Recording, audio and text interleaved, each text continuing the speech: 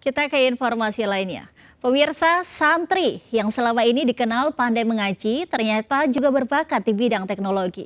Seperti para santri sebuah pondok pesantren di Kabupaten Blitar, Jawa Timur yang mampu mengukir prestasi dalam ajang kompetisi robot berskala internasional di Osaka, Jepang. Berikut liputannya.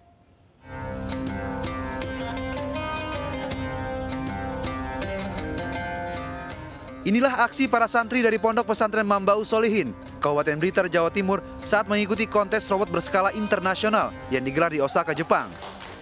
Dengan semangat, para santri mengoperasikan dua robot karya mereka, Line Follower dan Robot Soccer atau sepak bola. Tak disangka, lima medali masing-masing satu medali emas, tiga medali perak, dan satu medali perunggu disabet oleh gimnastiar, Naufal, Bahrun, dan Farhan. Hasil karya para santri ini diraih dalam kategori Sumo Race Championship dan Match Solving. Prestasi membanggakan ini dicapai dengan usaha dan kerja keras dari berbagai pihak. Salah satunya upaya pihak pondok pesantren yang terbuka terhadap perkembangan zaman melalui bimbingan kepada para santri. Selain memperdalam ilmu agama Islam, pengetahuan lainnya termasuk teknologi juga tak luput dari perhatian pihak pondok pesantren ini.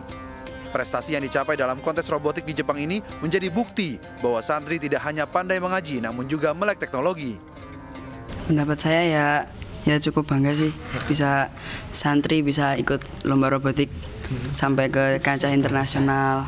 Persiapannya mulai dari pengenalan terus apa programming, ada yang rakit gitu. Tanya itu lah, bagaimana bisa membawa anak itu prestasinya bisa meningkat. Ditingkatkan untuk pertama pelatihannya. Ya tiap Jumat itu juga ada pelatihan-pelatihan. Prestasi para santri ini di tingkat internasional patut dicontoh oleh generasi muda.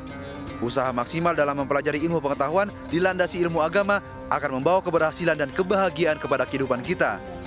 Dari Kabupaten Blitar, Jawa Timur, Chandra Irawan dan Panji Sabutra, iNews melaporkan.